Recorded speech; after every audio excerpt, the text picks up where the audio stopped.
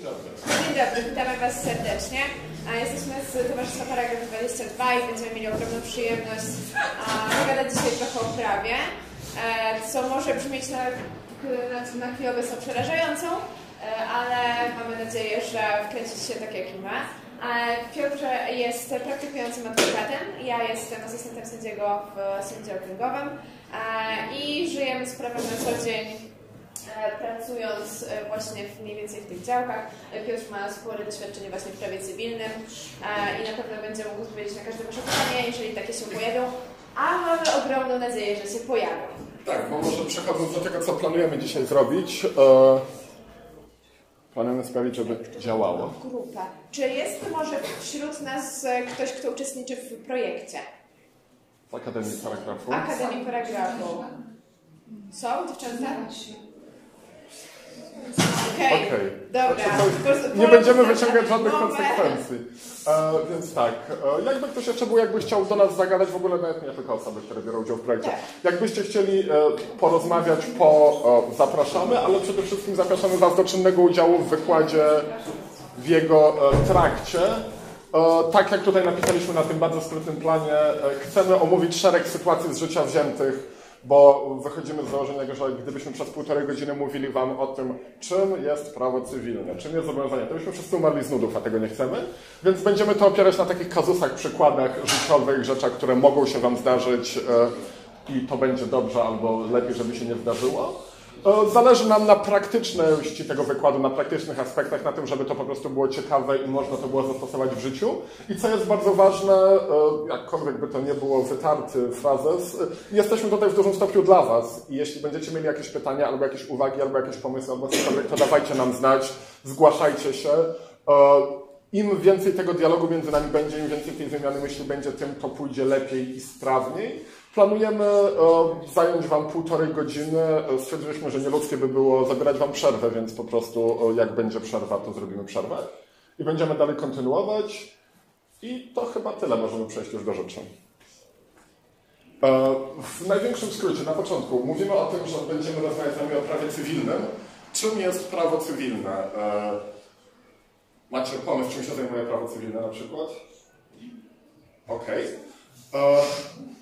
Prawo cywilne jest e, podstawową gałęzią prawa, jeśli chodzi o regulowanie stosunków prywatnoprawnych, co jest dobrą definicją, bo nic nie tłumaczy, bo nie wiadomo, co to są stosunki prywatnoprawne. W największym skrócie chodzi o to, że prawo cywilne reguluje sytuacje prawne między ludźmi. Cały PIC polega na tym, że tak jak na przykład prawo karne jest do pewnego stopnia regulacją pomiędzy państwem jakimś bytem posiadającym nad nami władzę i mogącym decydować o naszym życiu, a nami, gdzie te strony nie są równe i państwo czegoś od nas oczekuje, a my możemy w przypadku prawa karnego starać się, żeby państwo nie oczekiwało od nas, że spędzimy najbliższe 15 lat w więzieniu. Ma w przypadku prawa administracyjnego, że my się zgłaszamy do państwa, że chcemy wybudować dom i znowu państwo będące ważniejsze od nas i mające nad nami władzę podejmuje decyzję, czy na jakich warunkach możemy to zrobić. Prawo, w prawie cywilnym podmioty są równorzędne. Nie znaczy to oczywiście, że nie może być w stanie stosunku cywilnoprawnego państwo, jeżeli na przykład, nie wiem, e, chcemy kupić od państwa działkę, jakieś ziemię, żeby sobie tam coś zbudować i zawieramy umowę sprzedaży, no to jak najbardziej jest to stosunek cywilnoprawny, a mamy do czynienia z państwem. Chodzi jednak o to, że w założeniach e, w przypadku prawa cywilnego mówimy o równorzędnych stronach tego stosunku. I jest dość ciekawa definicja tego rozróżnienia pomiędzy prawem cywilnym a prawem karnym, prawem publicznym a prywatnym. To jest tak naprawdę dla czyjej korzyści te regulacje są wprowadzone. Kto na tym zyskuje? W przypadku prawa publicznego chodzi o to, że zyskuje ogół, na przykład dlatego, że mamy prawo karne, no to ludzie w założeniach nie popełniają przestępstw, a jeśli je popełnią, to są za to ukarani, są wyciągnięte konsekwencje. Jeżeli mamy prawo administracyjne, to też e, chodzi o to, żeby ogół z tego korzystał. Nie ma tak, że każdy buduje się jak chce i jest samowolka zupełna, tylko w założeniach jest to ograniczone. W przypadku prawa prywatnego nie chodzi o dobro ogółu, tylko o dobro stron w założeniach tego samego tego konkretnego stosunku prawnego, o którym mówimy. E, czy jeszcze jest tutaj coś, co chciałbym powiedzieć? Nie, wydaje mi się, że nie, że możemy już przechodzić do konkretnych przykładów. To było, tak jak mówię, tytułem wstępu, e, ogólne informacje, żebyście wiedzieli, o czym tak naprawdę będziemy mówić. Mhm. E, przedstawimy Wam teraz kilka kategorii, z którymi prawo cywilne się wiąże.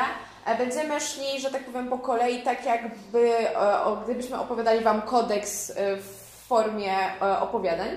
E, będziemy się skupiać na konkretnych e, kazusach, czyli na konkretnych sytuacjach z życia, które myślimy, że w jakiś sposób mogą, możecie być świadkami takich sytuacji, możecie usłyszeć o takich sytuacjach, albo w takiej sytuacji się znajdować.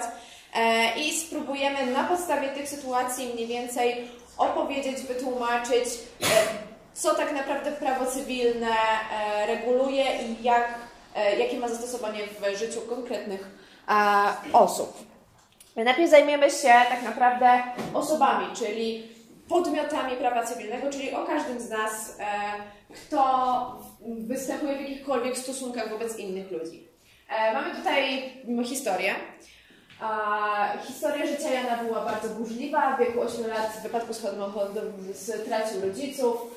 Odziedziczył znaczny spadek e, po tychże rodzicach a mieszkanie, działkę rekreacyjną, samochód i sporo pieniędzy. Rodzice byli e, kasiaści. E, jego opiekunem został jego wuj. E, tak to jest bazowane na historii Batmana. W wieku 11 lat, będąc mądrym i przedsiębiorczym dzieckiem, postanowił sprzedać działkę, a uzyskane w ten sposób pieniądze zainwestować w hodowlę alpak. Gdy miał 17 lat, postanowił nabyć od kolegi skuter. E, zgodnie z prawem mógł na nim jeździć. Mówił się, że zapłaci mu 3000 zł, a wujek Jana zaaprobował ten pomysł. E, I zaczynamy tak naprawdę zabawę od e, dekonstrukcji tego, co się wydarzyło.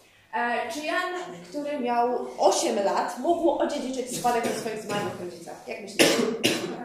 Można? Oczywiście, że można. Jasne, że tak. Jan jako osoba fizyczna. Zapraszamy, witamy. mógł oczywiście dziedziczyć spadek. Dziedziczenie tak naprawdę nie jest zależne od wieku. I to zwiąże się ze zdolnością prawną Jana.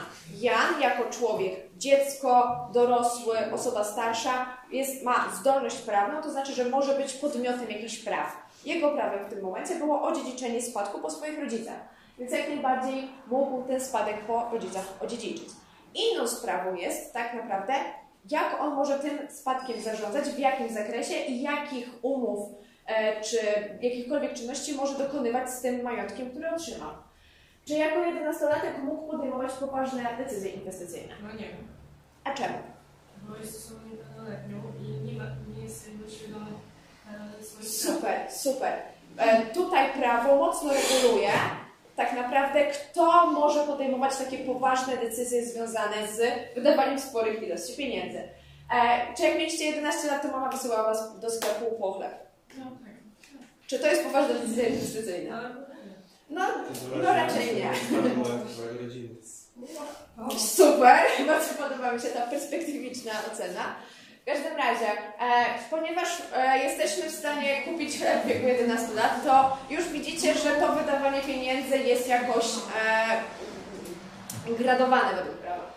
Oczywiście, 11-latek nie może podejmować takich decyzji inwestycyjnych, ponieważ zarówno prawo, jak i społeczeństwo uważa, że dziecko w tym wieku nie powinno mieć dostępu do takich ilości gotówki i raczej nie ma przygotowania psychicznego, jakiejkolwiek wiedzy bazowej do tego, jak inwestować duże pieniądze. Więc e, jak myślicie, co tutaj powinno się wydarzyć w związku z wydawaniem takich ilości pieniędzy? Kto powinien tutaj uczestniczyć?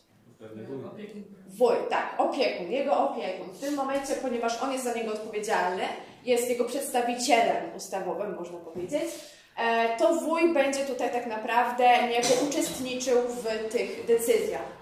I w, aby podjąć taką decyzję, e, Jan będzie, mógł, będzie musiał występować razem z wujem e, w przypadku zawiązania takiej umowy, ponieważ to w tym momencie on jest niejako za Jana odpowiedzialny i czynność dokonana bez udziału tego wuja w takim zakresie, tak wydawania dużych, sporych ilości pieniędzy, będzie po prostu nieważna. I teraz pytanie jeszcze istotne, które zapisałem w tych pytaniach, bo mi nie przyszło do głowy, ale do tego momentu. Czy wuj Jana ma pełną dowolność, jeśli chodzi o decydowanie, co zrobi z tymi pieniędzmi, z tymi nieruchomościami, z tym całym majątkiem? Czy może powiedzieć, dobrze, Janie, ty masz 11 lat, nic nie ogarniasz, ja uważam, że trzeba to wszystko sprzedać, i kupimy sobie, nie wiem, e, bardzo dużo ziemniaków i będziemy sprzedawać te ziemniaki na targu. To jest mój pomysł na te pieniądze. Czy wuj Jana może to zrobić bez żadnej kontroli, podjąć taką decyzję? Nie może. Jest e, założenie takie, że w momencie, kiedy opiekun, czy to rodzice, czy właśnie ustanowiony taki opiekun, jak w sytuacji, o której mówimy w tym kazusie, podejmuje czynności bardziej skomplikowane, bardziej złożone, to się nazywa bardzo zręcznie i w sposób jasny i zrozumiały, przekraczające zwykły zarząd, czyli są to czynności dotyczące bardziej skomplikowane, bardziej wpływające na ten stan, na ten majątek, na te rzeczy, które są niż takie normalne, codzienne decyzje. Tutaj nie ma pełnej dowolności, w wielu sytuacjach zgodę na takie rozporządzenie, na takie działanie musiałby wydać sąd.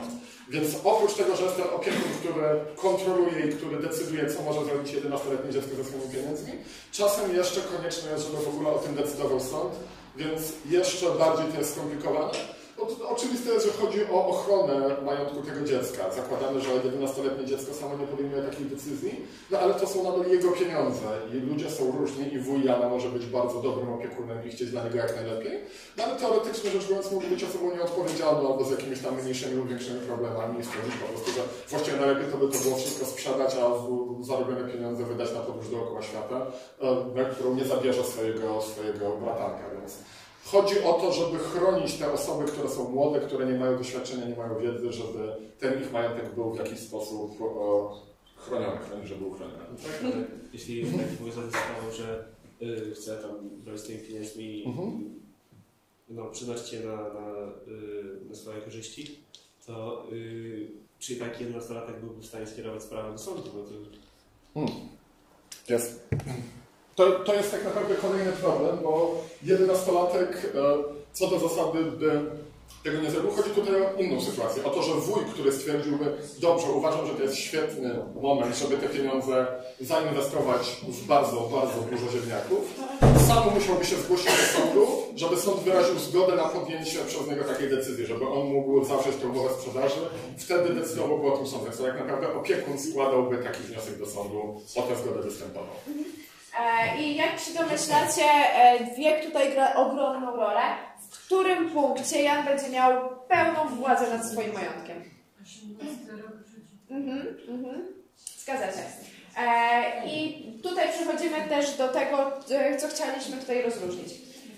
Jak mówiliśmy o dziedziczeniu majątku, to powiedziałam, że Jan ma zdolność prawną, tak? Czyli jest podmiotem, ma jakieś uprawnienie dziedziczenia majątku.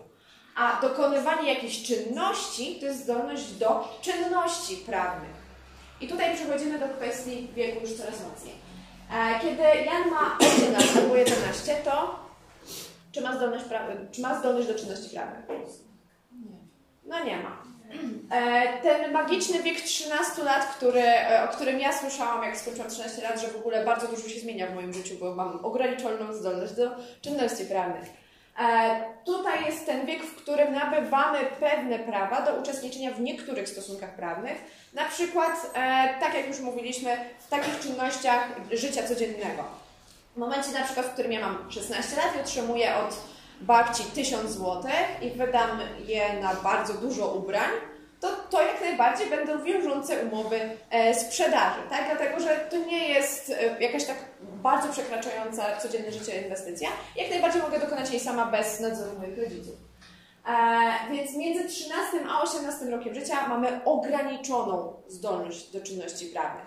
To oznacza, że niektóre nasze decyzje inwestycyjne związane właśnie z majątkiem będą musiały będą wymagały uczestnictwa naszych rodziców, opiekunów, natomiast już w większym zakresie jesteśmy odpowiedzialni też za własne pieniądze, a od 16 roku życia co można?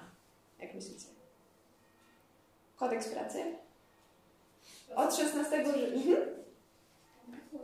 Można pracować, można być jak najbardziej pracownikiem, możemy podpisywać umowy jako młodociany, e, jeżeli chodzi o pracę. Wcześniej też oczywiście E, są różne sposoby na zawarcie jakichś tam e, umów, jeżeli chodzi o pracę, na przykład jak to robią młodsze dzieci, na przykład aktorzy, czy w jakikolwiek inny sposób dzieci, które e, zarabiają pieniądze będąc w bardzo młodym wieku. Natomiast tak, od 16 roku życia już jest, w ogóle możemy być pracownikiem, więc też jak najbardziej możemy mieć władzę nad swoimi zarobkami. Przechodzimy do dalszej części historii.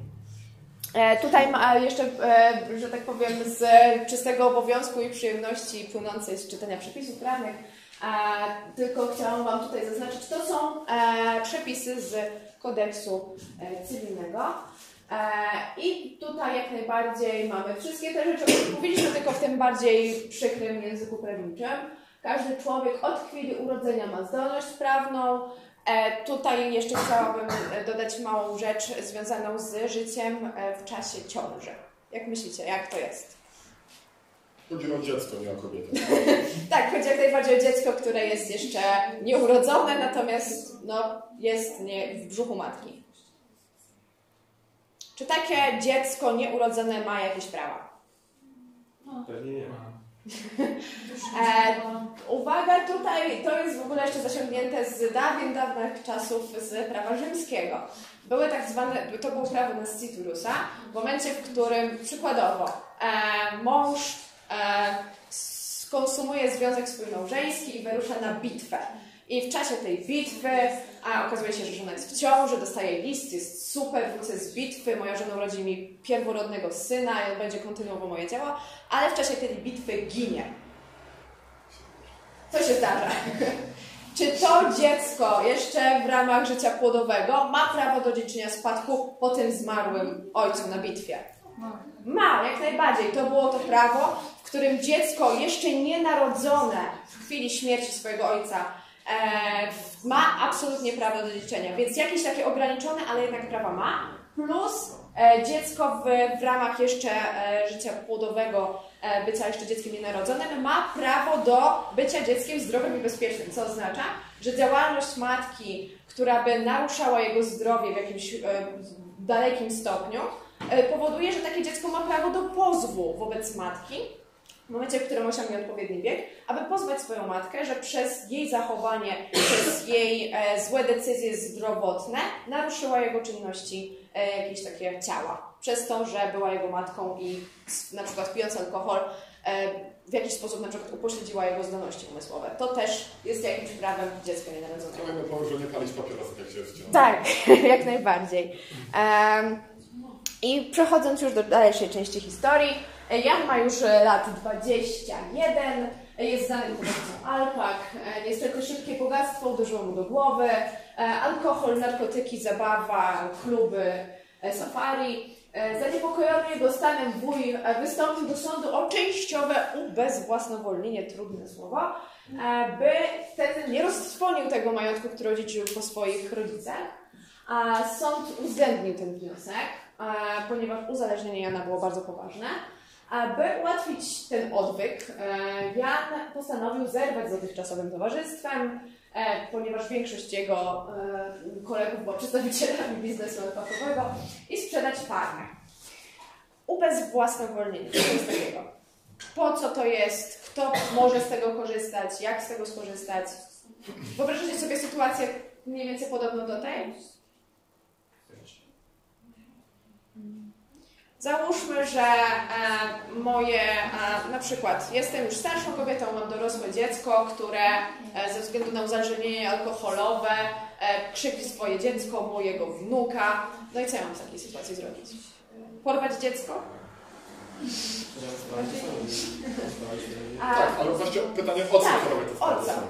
No to no, w, takiej, takim wypadku postrzeżenie yy, praw do yy, wychowywania dziecka. Jak to zrobić tak naprawdę? Dlatego, że ona jest matką tego dziecka. Ona ma absolutnie 100% praw do wychowywania tego dziecka. Ja jestem tylko babcią. Babcia w ogóle nie funkcjonuje jak coś uprawnione do wychowywania wnuków. Tak naprawdę jest to tylko społeczny koncept.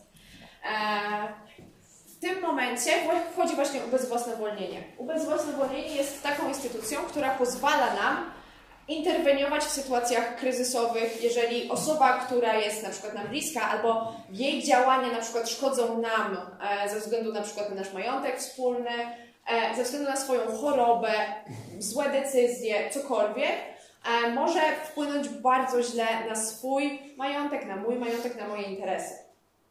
I ponieważ ona nie jest w stanie wykonywać swojej zdolności do czynności prawnych w sposób rozsądny i bezpieczny dla mnie czy dla niej, to w tym momencie ja chcę to ograniczyć bądź jej w ogóle zabrać. E, I to jest bardzo poważna ingerencja w prawa drugiej osoby, tak? Bo w tym momencie ja chcę odebrać jej prawa, które tak naprawdę z definicji ma każdy z nas. E, bardzo często się zdarza właśnie w związku z tym, że problemy alkoholowe w Polsce występują niezwykle często.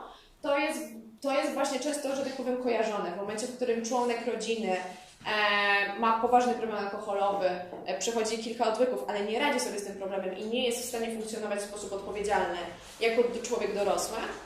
I na przykład całą pensję, e, jaką dostaje, a przeznacza na alkohol, e, bądź ginie generalnie w niewyjaśnionych okolicznościach, bądź na przykład osoby z problemem e, hazardowym, bądź osoby z problemami psychicznymi, które ze względu na chorobę bądź jakieś głębokie stany, już takie poważne stany depresyjne, też e, zachowują się w sposób, który nie licuje z, z ich e, interesem, to też tutaj w tym momencie można wnieść wniosek o ubezwłasnowolnienie. E, To nie jest, że tak powiem, sprawa administracyjna, że składamy wniosek i za dwa tygodnie dostajemy papier podpisany. Ta osoba już nie ma prawa do, do, do czynności prawnych. Absolutnie nie. To jest decyzja podejmowana przez sąd. Jest to, wydaje mi się, że jedyna sytuacja w kodeksie, e, w kodeksie postępowania cywilnego, w której jest obowiązkowy udział prokuratora.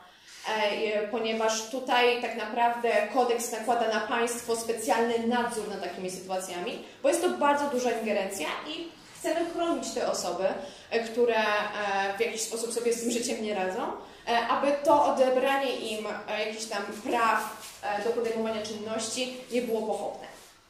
E. Tak, to znaczy no, tak naprawdę ubezwłasnowolnienie, czy częściowe, czy całkowite, jest do pewnego stopnia cofnięciem człowieka, jeśli chodzi o jego uprawnienia do decydowania, do zawierania umów, jeśli chodzi o jego zdolność do czynności prawnych, do tego etapu, w którym był, jak był młodszy. Czyli jeżeli częściowo kogoś ubezwłasnowolnimy, to on jest w takiej samej sytuacji jak dziecko pomiędzy 13 a 18 rokiem życia. Jeżeli ubezwłasnowolnimy go całkowicie, to jest jak dziecko poniżej 13 roku życia. No i możecie sobie wyobrazić, że to jest bardzo poważne ograniczenie i bardzo wpływa na naszą sytuację.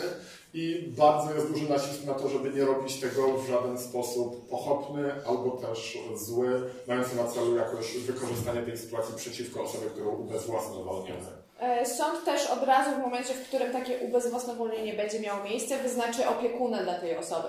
Bo nie możemy doprowadzić do sytuacji, w której ta osoba ma ograniczone zdolności do podejmowania jakichś decyzji i zostawiamy ją z tym samą. Absolutnie nie. Taka osoba będzie miała wyznaczonego opiekuna i to będzie osoba, która będzie odpowiedzialna za decyzje podejmowane w zakresie właśnie takich mm, powiedzmy e, majątkowych e, spraw. Więc tutaj tak jak najbardziej ta osoba będzie e, przynajmniej teoretycznie zaopiekowana e, ze względu na e, decyzję sądu.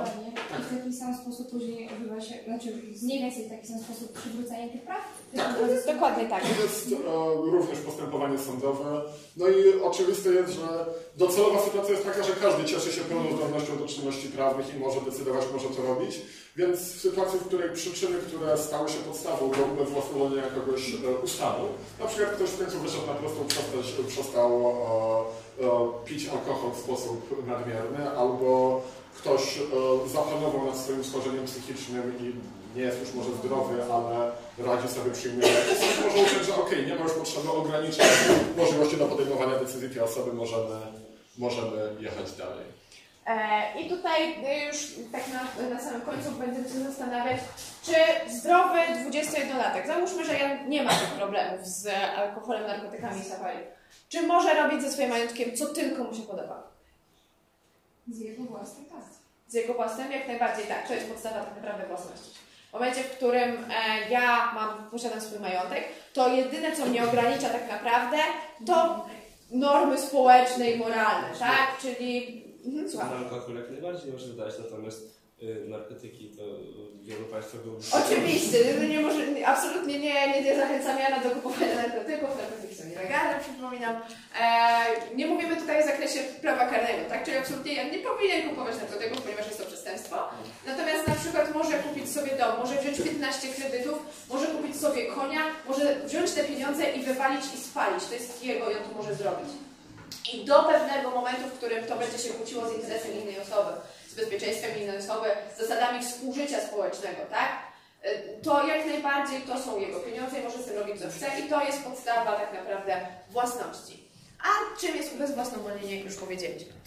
I tutaj znowu jeszcze macie odrobinę przepisów, które tak naprawdę tłumaczą, na czym polega kwestia ubezwłasnowolnienia częściowego czy całkowitego. E, No, podane jest to, o czym wspomnieliśmy, czyli e, stosuje się ubezwłasnowolnienie w stosunku do osób, które wskutek choroby psychicznej, niedorozwoju umysłowego albo innego rodzaju zaburzeń psychicznych w szczególności pijaństwa lub narkomanii, nie jest w stanie kierować swym postępowaniem. To ciekawostka, bo kodeks naprawdę korzysta ze sformułowania pijaństwo. Tak, E, natomiast jest to kodeks z 1964 roku i nie wszystkie przepisy były aktualizowane do języka, do którego jesteśmy przyzwyczajeni. Tak, no ale e, pijaństwo, więc... Tak, jest. Dobra, przejdziemy do dóbr osobistych. Nie wiem, czy kojarzycie w ogóle ten termin, e, czym są dobra osobiste. Jeśli nie, to staramy się Wam wytłumaczymy. Tym razem przechodzimy do e, sytuacji Stefana. Stefan e, miał w życiu jedną miłość, jedną rzecz lubił bardzo robić i było to trollowanie w internecie. Każde popołudnie po powrocie z pracy w międzynarodowej korporacji odpalał komputer, otwierał Twitterową butelkę Mountain Dew i wchodził na popularne strony internetowe, by dać świadectwo swoim rzadkim zdolnością w obrażaniu ludzi. Stało się postrachem sekcji komentarzy i nikt nie mógł się czuć przed nim bezpiecznie. Politycy dowiadywali się, że są złodziejami albo idiotami, którzy nie potrafią napisać najprostszej ustawy bez błędów. Osoby religijne wierzyć miały w powymyślone bożki, a popularni muzycy stanowili bandę pozbawionych talentu plagiatorów, bo prawdziwa muzyka skończyła się w latach 70. I teraz pytanie, co właściwie w tej sytuacji? Czy można tak robić, że ktoś wchodzi do internetu i obraża ludzi, abstrahując od tego, czy to się dzieje, czy nie? Czy to jest dozwolone? Nie. Nie. To dobry trop, nie jest to dozwolone. E, dlaczego? Jakie przepisy nam zabraniają to robić? Są tutaj tak naprawdę dwa istotne aspekty tego. Pierwszy to jest ten, o którym dzisiaj nie będziemy mówili, czyli wynikający z kodeksu karnego. Zniesławienie kogoś, czyli obrażanie go albo podawanie, że posiada jakieś cechy, które mogą go w odczuciu szerokiej publiczności, w odbiorze szerokiej publiczności e, powodować, że ta odbiór tej osoby jest negatywny, jest przestępstwem i o tym mówimy. Będziemy mówić o aspektach cywilnoprawnych, czyli o właśnie kwestiach dóbr osobistych. Czym są dobra osobiste? Jest to taki koncept polegający na tym, że każdy z nas ma jakieś, jakby to określić, przymioty, które podlegają szczególnej ochronie prawnej. Należy do nich na przykład, jakbyś mogła przejść dalej, bo tam jest e, przepis. Należy do nich m.in. cześć, no, zdrowie, wolność, cześć, swoboda sumienia, nazwisko lub pseudonim, wizerunek, tajemnica korespondencji, nietykalność mieszkania, twórczość naukowa, artystyczna, wynalazcza i racjonalizatorska. O co w tym chodzi? Chodzi w tym o to, że tak naprawdę każdy z nas ma prawo do dobrego imienia, każdy z nas ma prawo e, do tych wszystkich innych rzeczy, które to nie może być naruszane. Takie naruszenie może stanowić e, z perspektywy innej osoby podstawę do powództwa, do domagania się, o tym powiemy za chwilę, zadośćuczynienia. To powinno być przez państwo chronione. Tak naprawdę sprowadza się to do tego, że są no pewne elementy, pewne przymioty, które posiadamy, które nie powinny być naruszane przez osoby trzecie. Więc Stefan, o którym mówiliśmy, obrażając ludzi, czy to krytykując ich twórczość artystyczną, czy to krytykując ich kompetencje, czy inteligencję, czy krytykując ich e, wyznanie religijne i odczucia religijne, naruszał dobra osobiste tych osób. Jak myślicie, czy ten katalog, ta lista tych dóbr osobistych, która jest w tym przepisie, czy to są wszystkie dobra osobiste, jakie są, czy jest ich więcej, ale nie wszystkie zostały wymienione? Jest ich więcej. To warto zwrócić uwagę taki trik, jeśli chodzi o czytanie przepisów. Zwróćcie uwagę, że na początku drugiej linijki jest e, napisane w szczególności. To nam wprost językowo, na poziomie językowym sugeruje, że jeżeli w szczególności, to znaczy, że ten katalog ma charakter otwarty, a tutaj są wymienione te najbardziej e, powszechne, najważniejsze. Do pewnego stopnia pokazuje się tylko ramy, jak to mniej więcej ma wyglądać, jakie rzeczy są dobrami osobistymi, ale Analogicznie podobne kwestie również mogą być przedmiotem ochrony. Jakie na przykład możecie sobie wyobrazić dobra osobiste, które tutaj nie zostały wymienione, a są chronione? Okej, okay. jedną z spraw, która mi się zawsze kojarzy w tej sytuacji jest dobro osobiste, jakim jest pamięć do zmarłego bliskiej, zmarłej bliskiej osoby. Chodzi o to, że w momencie, kiedy, nie pamiętam już jak tam dokładnie była kanwa, ale wydaje mi się, że ktoś e, w trakcie pogrzebu no, utrudniał pogrzeb jakiejś osoby. Ktoś powiedział, że jego dobrem osobistym było prawo do tego, żeby w sposób taki, jak to jest zgodny z tradycją, z wyznaniem, z tym wszystkim, pożegnać się z tą osobą, która zmarła to zostało uniemożliwione, więc jego dobro osobiste w postaci jakiejś więzi ze zmarłą bliską osobą zostało naruszone. Ten katalog, jak mówię, jest zupełnie otwarty i można wymyśleć, to może nie najlepsze określenie, ale każda sytuacja, kiedy dochodzi do jakiegoś takiego naruszenia, może być przedmiotem, przedmiotem ochrony. E, I teraz tak, co może zrobić osoba, której dobro osobiste zostało naruszone? Tutaj zasugerowałem, że może iść do sądu, ale czego w tym sądzie można się domagać? Jak myślicie? Dotyczyło. Prawo cywilne. Inny, inny poziom. Karna to tak jak mówiliśmy, artykuł 212 jak najbardziej, ale jeśli chodzi o prawo cywilne, czego o, ja mogę się e, domagać od osoby, która na przykład w internecie pisze, że jestem głupim debilem? Powtarzalne. Odszkodowania. Tak, Prawie. e, prawie. E, w największym skrócie. E, terminem, e, nie wchodząc w szczegóły, terminem poprawnym z punktu widzenia kodeksu cywilnego jest zadośćuczynienie. Odszkodowanie dotyczy, jak sama nazwa wskazuje, szkody, która powstała, która ma jakiś charakter niekoniecznie majątkowy, ale wynikający z utraty przez nas e, jakichś dóbr albo z tego, że te dobra nie powstały. Zadośćuczynienie dotyczy tych e, kwestii znacznie bardziej ulotnych, jak krzywdy, rozumiane jako nasze gorsze samopoczucie, nasza niższa samoocena, nasz gorszy humor. Tutaj jest zadośćuczynienie. Jak najbardziej możemy się domagać zapłaty pieniędzy. Czy możemy się domagać zapłaty pieniędzy tylko dla siebie, czy na przykład możemy od kogoś oczekiwać, żeby zapłacił, nie wiem, na fundację, na Caritas, na Wielką Królestwo Świątecznej Pomocy, na CCR? Możemy. Tak, owszem, to wprost z kodeksu wynika, że możemy się domagać zarówno zadośćuczynienia dla siebie, jak i zapłaty pieniędzy na wybrany przez nas cel społeczny. Czego jeszcze możemy się domagać oprócz zapłaty tych pieniędzy? W polityce to się bardzo często zdarza. I Jest związane z gazetami na przykład. Sprostowania, przeprosin, publicznego stwierdzenia, że tak, powiedziałem coś i nie było to zgodne z prawem. Przykład. O, tak, e, to się w języku kodeksowym nazywa bardzo ładnie e, naprawieniem, spowodowaniem, że skutki, to jest, jakbyś przerzucił e, będzie wygodniej może. E, żądać e, dopełnić czynności potrzebnych do usunięcia skutków tego naruszenia. Jeżeli ktoś nas obraża i mówi, że na przykład e, Jagoda Kołodziejczuk jest złodziejem i kradnie pieniądze, to jeżeli chcemy, żeby spowodował coś, co cofnie skutki, to najlepiej będzie, że najlepiej w ten sam sposób opublikuje informację, że przepraszam, mówiłem naprawdę, Jagoda Kołodziejczuk nie jest złodziejem, ja tak tylko żartowałem, bardzo mi jest z tego powodu przykro. To jest domaganie się. Oczywiste to jest za, prawdopodobnie zbyt oczywiste, dlatego o tym nie powiedzieliśmy. Osoba, której dobra sobie stosunek naruszona, może żądać również, e, żeby sąd nakazał naruszającemu zaprzestania tych dalszych naruszeń. Czyli sąd powie, ok, przestań publikować informację, że ktoś jest złodziejem, jest to nieprawda, naruszasz jego dobro osobiste. To niby wydaje się oczywiste, ale jest też ważne, żądać zaprzestania dalszych naruszeń. E, I tak jak mówię, e, oprócz tego są kwestia usunięcia skutków i kwestia zapłaty. Czy to e, zadośćuczynienia dla danej osoby, czy zapłaty sumy pieniężnej na wskazany cel społeczny. I dalej są rzeczy. Okej. E, Przechodzimy teraz do kolejnej kategorii i będą to rzeczy, jakbykolwiek to abstrakcyjnie nie brzmiało. E, zaczniemy od kazusu. E, Aldona była bardzo przedsiębiorczą kobietą, gdy poczuła się wypalona e, pracą w korporacji, postanowiła wyprowadzić się na wieś, kupiła dużą działkę i założyła sad morelowy. E, Wybudowała duży dom e, z myślą o swoich dzieciach, zaprojektowała tak, by móc wydzielić w tym konkretnym domu dwa osobne mieszkania.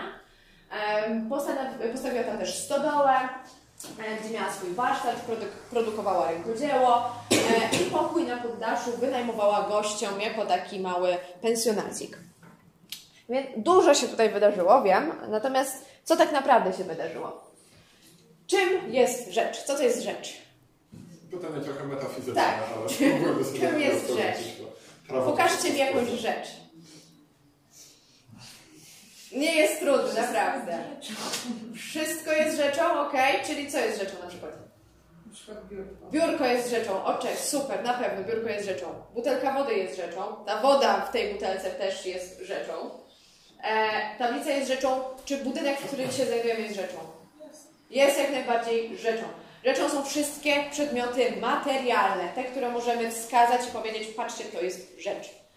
Em, Duża działka, na której rośnie sad owocowy, duży dom, stodoła, warsztat, pokój gościnny, rękodzieło i serwetki pani Aldony. To wszystko są rzeczy, czyli wydzielony kawałek ziemi sam w sobie też jest rzeczą. Jeżeli jest rzeczą, to znaczy, że być może, prawdopodobnie, może być przedmiotem czego? Obrotu. Tak? Handel. Wymienianie się rzeczami generalnie, tak o to chodzi. E, czyli tak, działka jest rzeczą, e, sad owocowy jest rzeczą. W sadzie owocowym co jest rzeczami? Owoce, tak? Co jeszcze? Drzewa, jak najbardziej. E, dom mieszkalny, czyli ten dom mieszkalny, czyli ten budynek, tak? Materialny budynek. W momencie, w którym ja z tego budynku wyodrębnię dwa mieszkania, pójdę do sądu i w księdze wieczystej wskażę, tu są dwa odrębne mieszkania, tu są dwie oddzielne nieruchomości, to w tym momencie są dwie oddzielne rzeczy, mimo że na chłopski rozum to się znajduje w jednym budynku. A czym jest część składowa? I tutaj przechodzimy już do rzeczy, które się nazywają dziwnie, bo nazywamy się poprawniczemu i tylko mniej więcej ograniczona pośledzonych ludzi rozumie, czym się to różni. E, ale w momencie, w którym na przykład będziecie kupować nieruchomość, albo samochód, albo tak naprawdę te większe rzeczy, to okazuje się, że część składowa i przynależność to są rzeczy, które się różnią. Część składowa, no już przejdziemy do przepisów, bo będzie to łatwiej e, czytać. Część składowa to jest wszystko, co nie może być odłączone od rzeczy bez uszkodzenia lub istotnej zmiany całości. Jeżeli ja odłączę nogi od tego stołu, to czy on nadal będzie stołem? No nie, ale ja mogę to zrobić, bo te nogi zostały przytwierdzone fabrycznie, tak? Mogę odłączyć te nogi. Ale w momencie, w którym ja te nogi odłączę, to jest sprawie, że ten stół przestanie funkcjonować jako stół. Będzie po prostu deską leżącą na ziemi, co nie bardzo jest definicją stołu. Więc w tym momencie te nogi, nawet odkręcone, będą częścią składową rzeczy, której jest biurko. Dlatego, że usuwając te nogi, zabieram istotną część tego, czym jest stół. Eee, też bez uszkodzenia, tak? W momencie, w którym ja e, mam e, drzewko bonsai i łamię jej gałąź w tym momencie, to ja ją poważnie uszkadzam, tak? E, I jeżeli chodzi o e, przynależność. Wydaje mi się, że to będzie następny slajd, albo może nie. Nie, to nie będzie następny slajd. W każdym razie, jeżeli chodzi o przynależności, to są te rzeczy, które przynależą do tej konkretnej rzeczy, e, co może być. E, dobra. To są kluczyki do samochodu. I przynależnością tych kluczyków do samochodu jest ten bryloczek. I ten bryloczek jest potrzebny Piotrowi, żeby na przykład znaleźć kluczyki w torbie albo w kieszeni. I w momencie, w którym ja odłączę ten bryloczek, to czy ten klucz straci zdolność odpalenia samochodu Piotra? No nie. Ale Piotrowi jest potrzebny ten bryloczek, żeby korzystać z tego klucza z jakiegoś powodu. Więc to jest przynależność w tym momencie. Ten sam kluczyk też jest częścią składową czy przynależnością samochodu? Częścią składową przynależnością. Super, mam dwa stanowiska, uwielbiam to. Czy ja bez tego kluczyka odpalę samochód? Okej. Okay. Czy ja w sposób legalny i zgodny z zastosowaniem kluczyka? O, czy odpalę samochód? No właśnie. Kluczyk generalnie uważa się. Tutaj są różne stanowiska, bo widziałam dwa różne e, orzeczenia sądowe związane z kluczykiem. I mhm. jest naszą własnością, nawet ze kluczykiem możemy go sposób legalny. Okej. Okay. Natomiast w takim. E, tutaj tak naprawdę przynależności części składowe rozum, e, definiuje się poprzez taki zwykły zarzut, zwykłe korzystanie z rzeczy. Tak? Zazwyczaj odpalamy samochód e, używając do tego kluczyka. W momencie, w którym ja ten kluczyk usuwam, to Piotr nie odpali swojego samochodu, więc ja istotnie zmieniam w jakiś sposób istotę, jaką jest samochód w zestawie z kluczykiem. Więc y, mam nadzieję, że to już jest troszeczkę jaśniejsze. Zwróciłbym Waszą uwagę na jeszcze jedną rzecz. Zwróćcie uwagę na przepis artykuł 46 paragraf 1. Nieruchomościami są części powierzchni ziemskiej stanowiące odrębny przedmiot własności. Budynki trwale z gruntem związane części takich budynków. Czyli tak naprawdę w tej sytuacji, którą opisywaliśmy, czyli że była działka, na której były dwa budynki, w jednym z tych budynków były dwa możliwe do wyodrębnienia lokale. Tam rosły drzewa, na tych drzewach były owoce nadal przyczepione do tych drzew. To w rozumieniu przepisów to jest wszystko jedna rzecz, jedna nieruchomość, na której stoją budynki, ale to jest wszystko jedna całość. Dopiero wyodrębniając te lokale czynimy z nich osobne rzeczy, dopiero zrywając te morele z drzewa czynimy z nich osobne rzeczy, osobne przedmioty własności. Dopóki to się nie dzieje, to jest traktowane jako jedna konkretna rzecz. I tutaj też artykuł 48 wynika. Z zastrzeżeniem wyjątków ustawie przewidzianych, tak, do części składowych gruntu należą w szczególności budynki i inne urządzenia trwale z gruntem związane, jak również drzewa i inne rośliny od chwili zasadzenia lub zasiania. Czyli to wszystko jest jeden przedmiot własności. Dlatego Dlatego też zrywając kwiaty z czyjejś posesji, w tym momencie naruszamy prawo własności tej osoby, ponieważ te kwiaty są trwale związane z gruntem, który należy do tej osoby, więc te kwiaty też należą do tej osoby. To wydaje się, że tak powiem, logiczne z punktu widzenia funkcjonowania na co dzień, natomiast prawo cywilne to nazywa w bardzo abstrakcyjny sposób. E, nowa rzecz, czyli jak robimy rzeczy, też zupełnie abstrakcyjna e, kwestia. E, I tutaj jak już Piotr zaczął. Morela w momencie, w którym jest przyczepiona do drzewa w sposób naturalny, który wynika z tego, jak funkcjonuje przyroda, jest częścią z drzewem. One stanowią całość. W momencie, w którym ja tą morelę z tego drzewa e, urwę, to w tym momencie morela jest, uzyskuje swoją tożsamość jako rzecz, odrębną. E, okazuje się, że też ta morela ma specjalną nazwę, o której się zaraz dowiemy. E, wyodrębnienie lokalu, tak? W momencie, w którym ja mam duży dom, mam całe mnóstwo dzieci, wyodrębniam im pięć mieszkań, każdy będzie miał wejście do swojego, każdy będzie miał prawo własności do swojego ułamka tego budynku, czyli odrębnego lokalu. To też w tym momencie jest niejako powstanie nowej rzeczy. A tradycyjne rękodzieło dostaje składniki, te składniki pojedyncze są rzeczami, wrzucam je do kotła z rękodziełem, robię rękodzieło, wychodzi mi serwetka. W tym momencie ta serwetka jest nową rzeczą, powstała z tych materiałów, natomiast ona jest teraz odrębną rzeczą. E, I czynsz za wynajem pokoju. Czy to będzie rzecz, czy to będzie coś, coś trochę innego? No właśnie. Okazuje się, że rzeczy produkują inne rzeczy, produkują też prawa e, i mniej więcej przyroda tutaj działa i podobnie prawo cywilne na tej podstawie będzie e, nazywało różne rzeczy. Pożytki naturalne, czyli morela z drzewa. Moje drzewo daje morelę i ja mam pożytek z tego, że to drzewo daje morelę i ja zrywając e, niejako pobieram pożytki z tego, że mam drzewo. Skoro to drzewo produkuje owoce, a ja te owoce zrywam i mam te owoce na swoją własność, to to drzewo wyprodukowało mi jakiś pożytek. E, I tutaj uprawniony do pobierania pożytków nabywa ich własność przez odłączenie, tak? Czyli najprostsza, e, najprostsza czynność, czyli oderwanie tego od drzewa. E, kto wytworzył nową rzecz ruchomą z cudzych materiałów? Uwaga.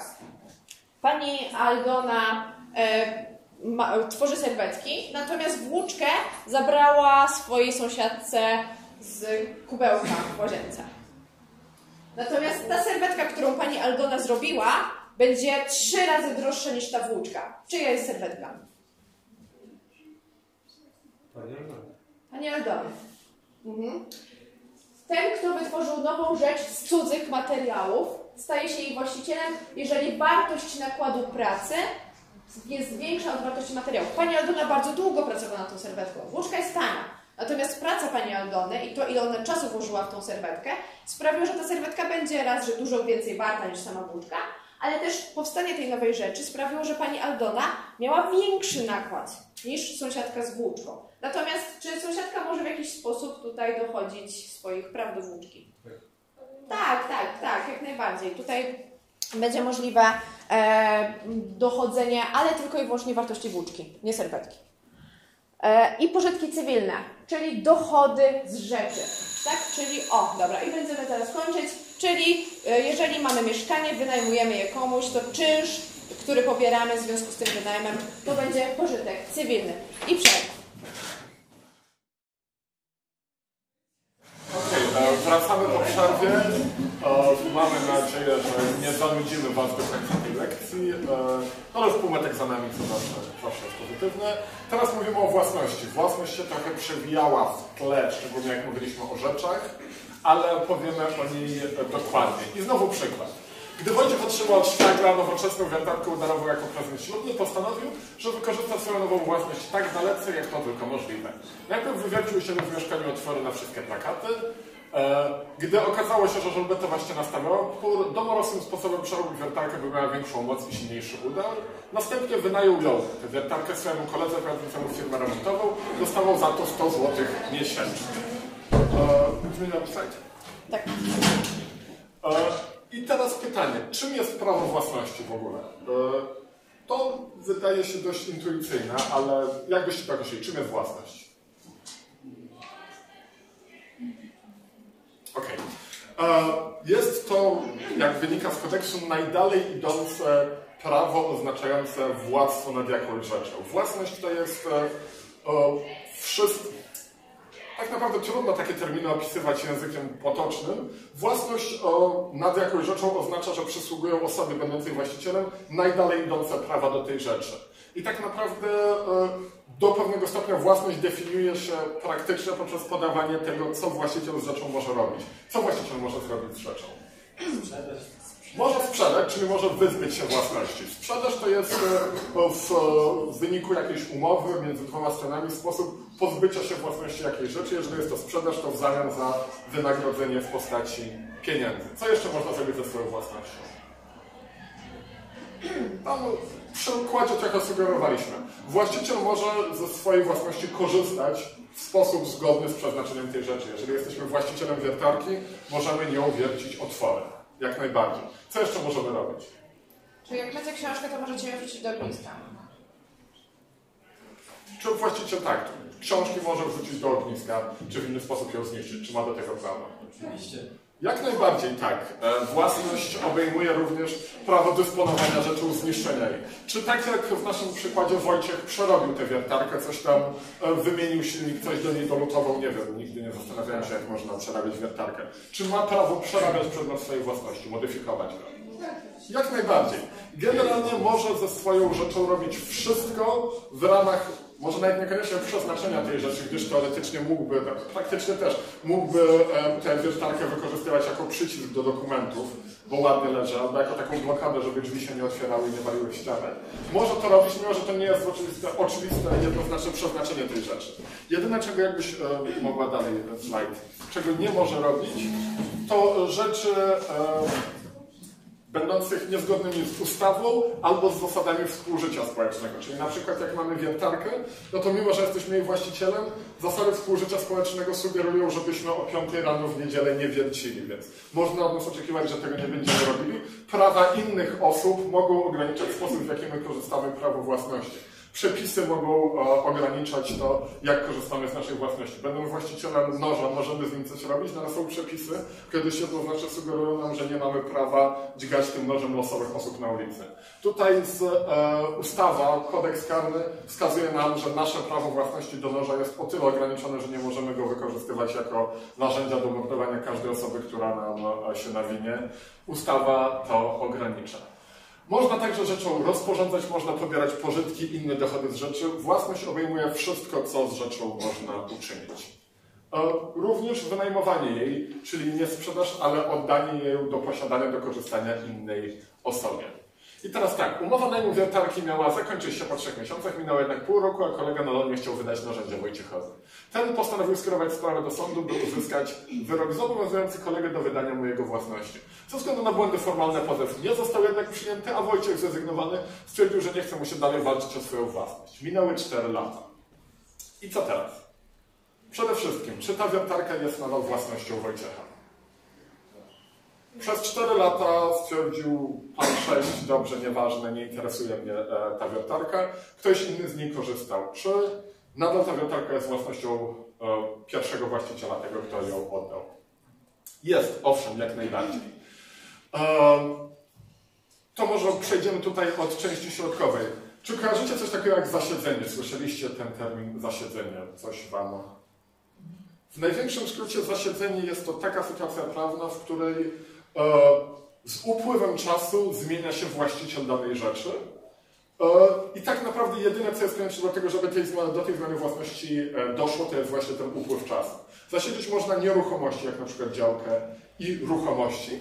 Z zastrzeżeniem jednak e, terminy są różne. W przypadku ruchomości są to 3 lata, w przypadku nieruchomości zależnie od okoliczności 20 albo 30 lat. Te okoliczności, od których zależne, to jest posiadanie w dobrej lub w złej wierze.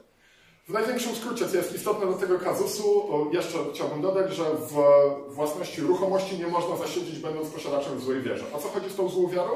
Jeżeli ja wiem, że nie jestem właścicielem jakiejś rzeczy, że nie mam do niej żadnych praw, a mimo to z niej korzystam jak właściciel, no to jestem posiadaczem w złej wierze i e, to powoduje dłuższy okres e, zasiedzenia w przypadku nieruchomości i to powoduje, że rzeczy ruchomej zasiedzieć nie będę mógł. Czyli ten kuzyn Wojciecha, ten znajomy Wojciecha, który władał jego wiertarką, ale wiedział od samego początku, że ona do niego nie należy, nie mógłby jej zasiedzieć. Gdyby jednak mi się wydawało, że to jest jego wiertarka, bo na przykład znalazłby ją na strój i mówił, o chyba taką miałem, nie jestem właściwie pewien, kto jest jej właścicielem, ale wydaje mi się, że ja.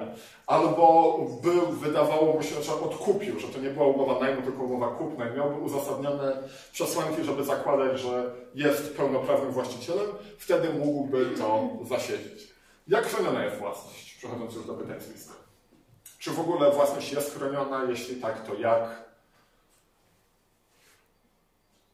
Możecie się domyślać, że jak tak zadaję te pytanie, to własność jest chroniona.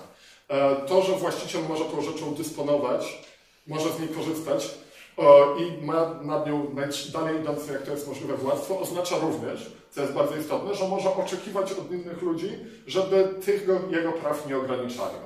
E, to, że ja jestem właścicielem, daje na to samochodu, powoduje, że ja tym samochodem mogę jeździć, ale mogę też liczyć na to, że nikt inny bez mojej zgody tym samochodem jeździć nie będzie. Gdyby ktoś próbował to robić, bo na przykład wybiłby szybę i próbował ten samochód odpalić i nim jeździć, mogę oczekiwać, żeby przestał to robić. Istnieją w celu ochrony własności powództwa opisane w kondeksie. One się w sposób bardzo intuicyjny i klarowny nazywają powództwem windykacyjnym i negatoryjnym.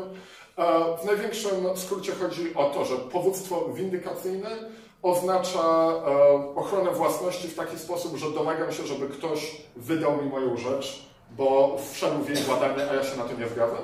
Powództwo negatoryjne ma na ochronę, na celu ochronę przed innymi naruszeniami mojej własności, e, nie będącym pozbawieniem mnie posiadania. O zasiedzeniu już mówiliśmy. Jak pozbyć się własności? Bo jak już ustaliliśmy, można się tej własności pozbywać, to jest zgodne z przepisami. Jak to zrobić? Już był ten pomysł dzisiaj. Sprzedać jak najbardziej. Co jeszcze? Oddać komuś. Oddać, jak najbardziej. Co jeszcze? O, zniszczyć. Jak najbardziej. No, w momencie, kiedy przestaje istnieć przedmiot własności, to nie możemy być również właścicielami. A na przykład wyrzucając coś. Nie jestem już tym zainteresowany, nie podoba mi się, miałem książkę, ale już jej nie lubię i wyrzucam ją do kosza. Czy można, czy pozbywamy się własności w ten sposób?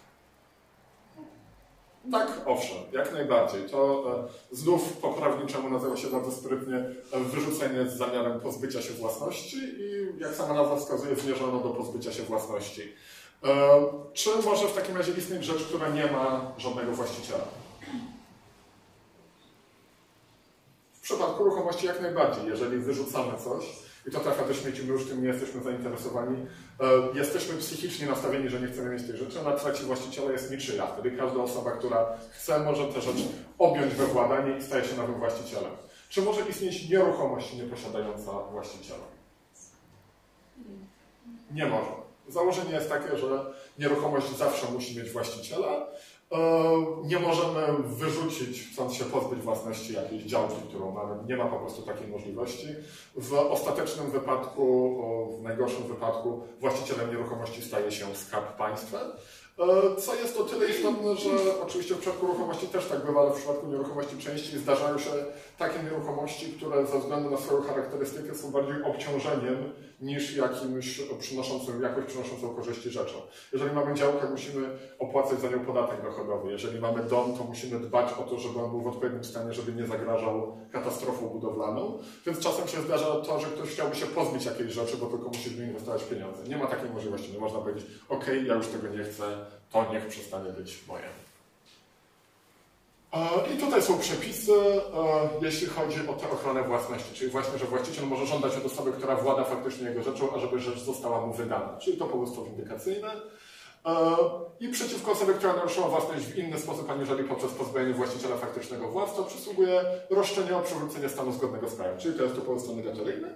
A o zasiedzeniu mówiłem, czyli w przypadku rzeczy ruchomej 3 lata, chyba że posiadał złej wierze, rzeczy posiadanej w złej wierze zasiedzieć nie można, jeśli chodzi o ruchomość. Przechodzimy dalej, jak rozumiem. Tak. E, przechodzimy do posiadania. Czyli wydaje mi się, że tożsamego pojęcia z tym przed chwilą omówionym, ale tak nie jest. Prawo to rozróżnia, ponieważ prawo jest dosyć upierdliwą działką życia. E, I posiadanie i własność różnią się. I zaraz się dowiemy, jak się różnią. Grzegorz wybrał się na spacer ze swoim psem, po dłuższej chwili zauważył, że pies ma coś w gębie, e, więc po dłuższych negocjacjach z psem i użycia e, siły wydobył rzecz z pyska psa. Okazało się, że jest to portfel, porządny, skórzany portfel z napisem Cisna 12 marca 2016 roku. Rozejrzał się w koło, uznał, że nie widzi człowieka, który by ten portfel mógł zgubić. No i niejako niejako jest pozbawiony możliwości działania w, w umyśle e, Grzegorza. E, stwierdził, że zajrzy do portfela, może znajdzie tam coś, co pozwoli mu tego właściciela ustalić. Znalazł tam dwie stówy, kupon na pizzę i paragony, czyli nic, co by mu jakkolwiek tego właściciela wskazało. Uznał, że odszukanie tej osoby jest w tym momencie już niemożliwe, więc jedyne, co może zrobić, to po prostu ten portfel z tymi 200 złotymi zatrzymać. I tutaj się na chwilę chciałabym zatrzymać. Czy to jest prawda, że Grzegorz nic nie może zrobić? Co może zrobić? Słucham? Mhm. Gdzieś można zgłosić. Po pierwsze istnieją media społecznościowe, więc jest to coraz prostsze, czyli tak można po prostu wrzucić posta na jakiegoś na przykład miejskie, na jakąś miejską stronę, czy fanpage, czy cokolwiek i zgłosić, słuchajcie, znalazłem portfel z konkretnym napisem, portfel wydaje się personalizowany, więc być może jest ważny. E, a tak poprawniczemu mówiąc, e, w, powiecie są specjalne miejsca e, w urzędzie przeznaczone do tego, żeby zwracać tam wszystkie znalezione przedmioty. Wówczas jest to powiedzmy taka publiczna wersja depozytu. Tak? W momencie, w którym my znajdujemy jakąś rzecz, ona nie jest nasza, oddajemy ją do urzędu i w tym urzędzie jest to niejako biuro rzeczy znalezionych. E, więc to jest niejako prawna droga, aby legalnie e, zwrócić taką rzecz, znaleźć, jeżeli nie jesteśmy tego w stanie zrobić sami. A dalsza część historii. E, portfel był porządny, więc Grzegorz stwierdził, że będzie go nosił, mimo że cisna w marcu nie, nie stanowi dla niego jakiejś szczególnej wartości. A następnego dnia jego współlokator, ponieważ organizowali imprezę, poprosił go o pożyczenie paru złotych na zakup napojów na tąże imprezę. A portfel był, Grzegorz był zajęty, więc e, tylko machnął ręką, weź mój portfel, tam, jest, tam są jakieś pieniądze, idź do sklepu z tym portfelem. A też powiedział, spoko, nie ma problemu. E, więc wziął ten portfel i poleciał do sklepu. E, stoi przy kasie, wyciąga tenże portfel, by zapłacić za zakupy, które właśnie poczynił. Usłyszał za sobą głośny głos mężczyzny. To mój portfel, cisna marzec to data moich zaręczyn z Basią. Po czym w tych słowach wyrwał Andrzejowi przedmiot i posłał kilka ciosów prosto w nos Andrzeja. E, okazuje się, że właściciel portfela, który ten portfel natychmiastowo rozpoznał, e, ten portfel odebrał. Więc co tutaj tak naprawdę się wydarzyło z punktu widzenia prawnika? Czym jest posiadanie i czym się różni od własności? Na podstawie tej historii i tego, co już wiecie o własności. Kto był właścicielem portfela? Zakładając, że mężczyzna z kolejki rozpoznał ten portfel i faktycznie był to jego portfel, ponieważ zaręczył się z Basią i Basia mu ten portfel kupiła na rocznicę. Kto był właścicielem? No on, okej. Okay. A kto był posiadaczem? Ten, kto go znał. Okej, okay, tak, czyli już widzimy pierwszą tak różnicę. Posiadanie jest sytuacją faktyczną, nieprawną. Posiadanie wiąże się z własnym faktycznym. Jeżeli Piotr ma książkę i mi ją pożyczy, to kto jest właścicielem książki? Piotr, a ja ją posiadam faktycznie, tak, bo trzymam ją w rękach, czyli mam władztwo faktyczne nad tą książką. E, więc to jest ta różnica. Własność jest e, terminem związanym oczywiście z władztwem nad rzeczą, ale też z uprawnieniami z punktu widzenia prawa. Natomiast posiadanie jest sytuacją faktyczną, czyli generalnie trzymanie tej rzeczy w rękach. E, jak można się stać posiadaczem samoistnym i co to jest posiadanie zależne? Samoistne i zależne brzmi dziwnie, ale zaraz do tego przejdziemy. E, Grzegorz był, już ustaliliśmy, posiadaczem tego portfela. Nie był jego właścicielem, był jego posiadaczem. Miał tą rzecz i posiadał ją i chciał ją posiadać dla siebie. Tak myślicie, samoistne czy zależne? Tak Intuicyjnie czyste. Samoistne, tak? Ja jestem, ja mam tą rzecz, ja chcę ją posiadać i ja chcę posiadać tą rzecz, więc ja ją posiadam i trzymam. E, Andrzej chce ją pożyczyć na chwilę, bo ta rzecz jest mu potrzebna na chwilę, natomiast Andrzej ją zaraz zwróci. I Grzegorz wie, że Andrzej mu zwróci ten portfel, bo Andrzej to jest spokotypek. I generalnie mu ten portfel zwróci. Więc to, że Andrzej posiada ten portfel, jest zależne od tego, czy Grzegorz mu pozwoli. Czyli jest posiadaczem Zależnym. Zgadza się. To, czy posiadacz zależny może tą rzecz trzymać w rękach i posiadać, zależy od tego, czy posiadacz samoistny mu na to pozwoli. Jeżeli posiadacz samoistny ma pewne prawo i nim rozporządza, czyli ma prawo do posiadania, bo trzyma tą rzecz w rękach, więc uznajemy, że ma, e, to w tym momencie posiadacz zależny, takiego prawo posiadania tego portfela w chwili, kiedy jest na zakupach, jest zależne od tego, czy Andrzej mu pozwolił i czy Andrzej jest posiadaczem samoistnym. E, I posiadanie zależne wiąże się z tym, że musi być uzależnione od tego pierwszego uprawnienia, tak? czyli od tego posiadania samoistnego. E, I tutaj szybkie przepisy. Posiadaczem rzeczy jest zarówno ten, kto nią faktycznie włada jak, jak właściciel, a nie jako właściciel, zwróćcie uwagę, tak? E, a jak i ten, który nią faktycznie włada jako użytkownik, zastawnik, najemca, dzierżawca, czy osoba, która generalnie umówiła się z tą pierwszą osobą, słuchaj, ja wezmę sobie teraz tą rzecz i ja nią będę władał. I mówiąc o rzeczy mam na myśli portfel, mieszkanie, wiertawkę, samochód. Ehm, posiadacz samoistnie nie traci posiadania przez to, że oddaje drugiemu. Grzegorz pożyczył ten portfel Andrzejowi, ale to nie znaczy, że on stracił posiadanie. Jego uprawnienie jest w tym momencie tym uprawnieniem głównym i to, że on na chwilę stracił ten portfel z oczu nie znaczy, że on stracił do niego uprawnienie. Absolutnie nie. E, I już przechodząc do e, kwestii już takich mocniej prawniczych. To może jeszcze powiem o jednej rzeczy, bo to, żeby wyraźnie przebrzmiał, chciałem zwrócić Waszą uwagę. Posiadanie tak naprawdę ma dwa aspekty, które z łaciny nazywają się corpus i animus gdzie korpus jest to faktyczne to, że mam rzecz w ręku, że ona istnieje, jest w mojej dyspozycji, a animus to jest e, wola tego, że ja chcę tę rzecz mieć.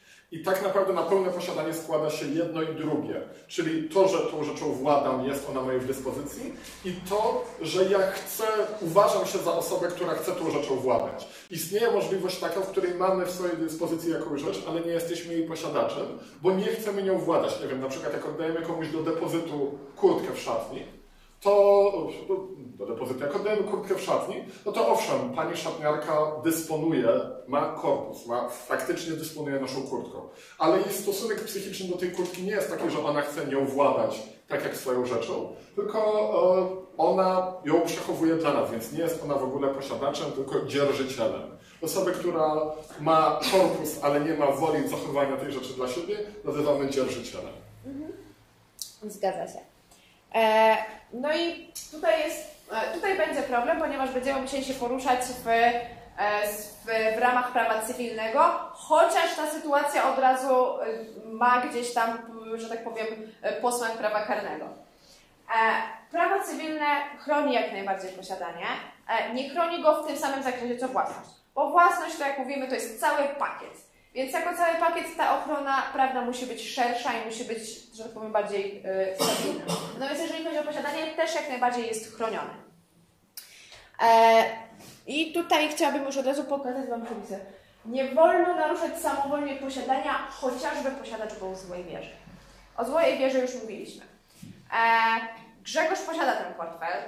Wie, że to nie jest jego portfel. Wie, że do kogoś należał ten portfel. W jakiej Grzegorz jest wierze? Dobrej czy złej? No, no raczej złej, tak? Wie, że to nie jest jego portfel, wie, że to, co, to też przede wszystkim nie są jego pieniądze, wie, że do kogoś należał ten portfel i prawdopodobnie ta osoba bardzo żałuje, że ten portfel już nie jest w jej posiadaniu, tak? Czyli w tym momencie e, e, Grzegorz posiada w złej wierze ten portfel. E, czy to oznacza, że Andrzej może mu sprzedać plombę na ryj i ten portfel zabrać? Nie może. Nie może? A tak, taką sprawiedliwość, taką ludową. Nie, nie, nie czujecie tego? Nie, nie może. Absolutnie nie może. E, po pierwsze, bicie ludzi jest zakazane. Nie wolno bić ludzi. Nie wolno bić ludzi. E, I tutaj od razu upogajmy sobie karne. Nie wolno bić ludzi. Nie, nie, nie bijcie ludzi. E, ale przede wszystkim nie naruszajcie posiadania. E, posiadanie jest uprawnieniem. Jako uprawnienie jest chronione przez prawo. To, że Grzegorz posiada ten portfel, a posiadać go generalnie nie powinien, to nie jest powód, żeby mu to posiadanie zabierać, dlatego że niejako wszedł tak, we władztwo i z tego władztwa wywodzą się jakieś prawa. Posiadacz może zastosować obronę konieczną, ażeby odetrzeć samowolne naruszenie posiadania. E, obrona konieczna, znowu trochę tutaj wchodzimy w prawo karne, ale chciałabym pozostać na poziomie prawa cywilnego. Grzegorz, e, czy Andrzej, czy ktokolwiek będzie trzymał ten portfel i właściciel tego portfela będzie mu chciał ten portfel zabrać, to Andrzej nie musi go od razu puszczać i kulić się na podłodze płacząc. Może jak najbardziej ten portfel przytrzymać i obronić się w sposób konieczny. Jak myślicie, co to znaczy obronić się w sposób konieczny? Czy to znaczy oddać tą plombę na ryj? Czy to jest konieczne w tej sytuacji? No nie. Czyli dokonać tych czynności, które są konieczne tylko i wyłącznie do zachowania tego posiadania. Tak? Czy zrobić wszystko, co jest potrzebne, żeby ten portfel zachować w swoich dłoniach, ale niekoniecznie Andrzejowi zabrać 3 lata, które spędził w szpitalu. Tak? E, to jest ta bardzo subtelna różnica, która jest bardzo subtelna i bardzo często e, wyznaczenie tej granicy, co było konieczne, a co było przekroczeniem tej obrony koniecznej, e, bardzo często jest kwestią sporów. E, natomiast tutaj w prawie cywilnym generalnie chodzi o to, że zrobić wszystko, co daje mi władztwo nad tą rzeczą, ale już nie wkracza tak, w jakieś takie dalsze e, konsekwencje. E, I dalej, tu uwaga, bardzo długi przepis. A przeciwko temu, kto samowolnie naruszył posiadanie. Kto naruszył samowolnie posiadanie w tej sytuacji? Posiadanie, nie własność.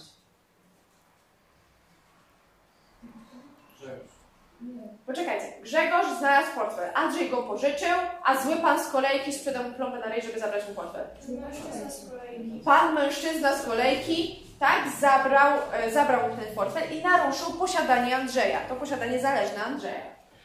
Em, przeciwko temu, na czyją korzyść naruszenie nastąpiło, przysługuje posiadaczowi roszczenie o przywrócenie stanu poprzedniego. E, tak, czyli przywrócenie władztwa nad portfelem i zaniechanie naruszeń, czyli przestań bić mnie, panie człowieku z kolejki. Roszczenie to nie jest zależne od dobrej wiary posiadacza, czyli niezależnie od tego, jak ten portfel znalazł się w posiadaniu Andrzeja. Czy Andrzej go ukradł, czy Andrzej go znalazł, czy Andrzej go kupił od innej osoby, nie ma to żadnego znaczenia. Ja trzymam ten portfel i ty nie możesz mi go zabrać, tylko dlatego, że twierdzisz, że jest twój. Eee, chyba, że prawomocne orzeczenie sądu lub innego powołanego innego organu stwierdziło, że stan posiadania powstały na skutek naruszenia jest zgodny z prawem. Jak myślicie, co to oznacza? Dam wam chwilę, żebyście przeczytali to zdanie sami.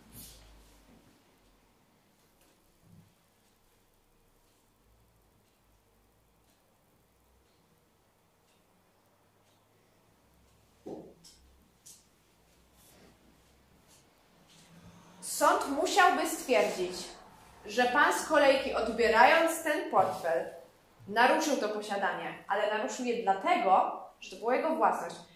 Jak myślicie, co może doprowadzić do tego orzeczenia?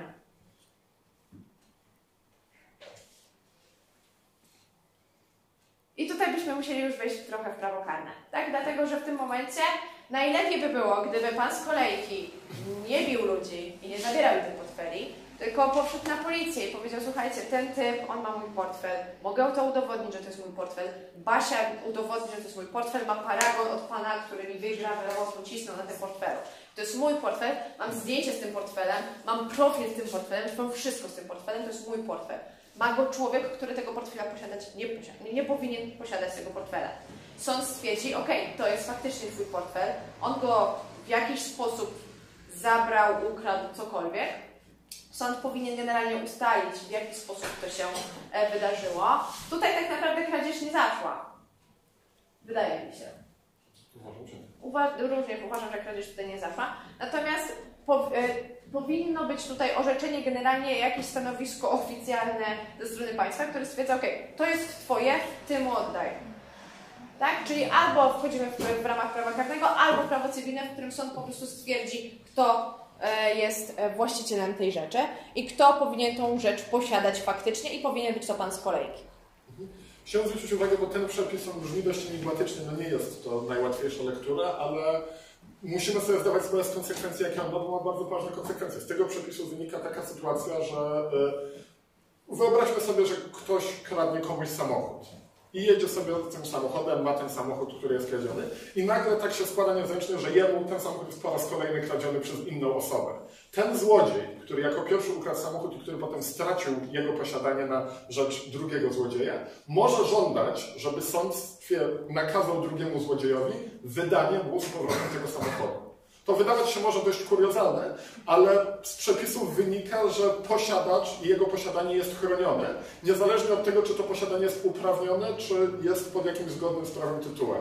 Więc e, każdorazowy posiadacz, który zostaje tego posiadania pozbawiony, może oczekiwać, że sąd zrobi wszystko, żeby przywrócić mu to posiadanie.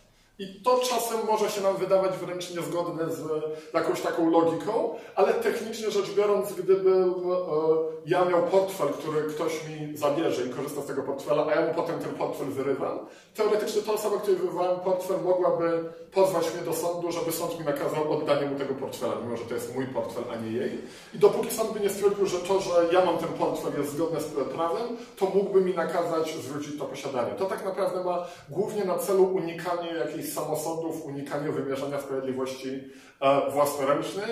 E, państwo chce mieć kontrolę nad tym pozbawieniem kogoś posiadania, przenoszeniem posiadania, żeby nie było tak, że każdy jak mu się wydaje, że ma do czegoś prawo, to to sobie odbiera. Chodzi o to, żeby to wszystko się odbywało pokojowo, sensownie i jeżeli są jakieś wątpliwości, rozstrzygać ma je sąd, a nie my między sobą, bo tak się czujemy i taką mamy ochotę. To jest ważna taka nauka, która z tego płynie, wydaje mi się. Czyli to, co wcześniej mówił też Piotr i co wynika z tej sytuacji. E, Andrzej, któremu pan z kolei ten portfel zabrał, nosi powództwo o przywrócenie posiadania, tak? Czyli żeby ten pan mu ten portfel oddał. Ten pan mu portfel oddaje z bardzo smutną miną, bo to jest jego portfel, do którego jest przywieziony emocjonalnie. Natomiast pan z kolejki składa powództwo o przywrócenie mu władztwa nad jego własnością, tak? Czyli w momencie niejako jest to powództwo już windykacyjne, tak? O którym mówiliśmy. E, I przechodzimy do umowy, czyli naszej przedostatniej kategorii. Umowa więc. Pani Alicja, emerytowana kucharka, usłyszała pewnego wieczora dzwonek do drzwi. W progu stanął rosły mężczyzna w garniturze, który zapytał, czy może zająć chwilę opowiedzieć o wspaniałej ofercie. Alicja miała mnóstwo czasu i zaprosiła gościa do domu. Ten niezwykle zaprezentował lśniący egzemplarz Encyklopedii Zdrowia, kwartalnika w twardej oprawie, który rozwija mroki medycyny alternatywnej, uzdrawiania ziołami i uleczy każdą dolegliwość. Sprzedawca zwrócił uwagę na podeszły wiek Alicji, opowiedział o bolesnych chorobach i przerażających skutkach utraty pamięci, jakie obserwował u innych klientów i zakończył prezentację pytaniem o plany pogrzebowe gospodyni. Nie był to kulturalny człowiek, no ale to się zdarza. A, tak, tak, dalej. E, aby e, zapobiec tym wszystkim okropnościom, wystarczy podpisać umowę o prenumeratę, a pierwszy egzemplarz pani Alicja utrzyma już teraz za 9,99. Nie wahała się ani minuty. Po trzech miesiącach otrzymała pismo od rzeczonego wydawnictwa. Wzywali oni do zapłaty 2999 zł w ciągu 7 dni tytułem wstępnej opłaty za prenumeratę. Za każdy dzień opóźnienia naliczone miały być odsetki w wysokości 30% tej kwoty. Oprócz tego poinformowano, że odstąpienie od umowy powoduje naliczenie kary umownej w wysokości 5000 zł. I teraz... Coś jest nie tak. Coś jest... Znaczy... Wydaje się, że coś nie do końca gra. Z czym mieliśmy do czynienia, jeśli chodzi o te relacje, te interakcje pomiędzy sprzedawcą a panią Alicją? Co to było? Podpowiem, że jest napisane na górze slajdu, to może być wskazówka. Doszło do zawarcia umowy. To była umowa sprzedaży w jakiejś formie z jakimiś dodatkowymi, e, dodatkowymi klauzulami, dodatkowymi jakimiś zastrzeżeniami. No, doszło do umowy sprzedaży. Ktoś powiedział, ja mam rzecz, którą ci mogę sprzedać, ty się staniesz jej właścicielem. Ktoś inny powiedział, ja mam pieniądze, zapłacę pieniądze za tę rzecz. Doszło do zawarcia umowy. E, jak możemy kształtować umowy? Czy w umowie możemy wpisać wszystko, co chcemy, czy są jakieś ograniczenia, że prawodawca nam mówi, bez przesady takiej umowy nie da się zacząć?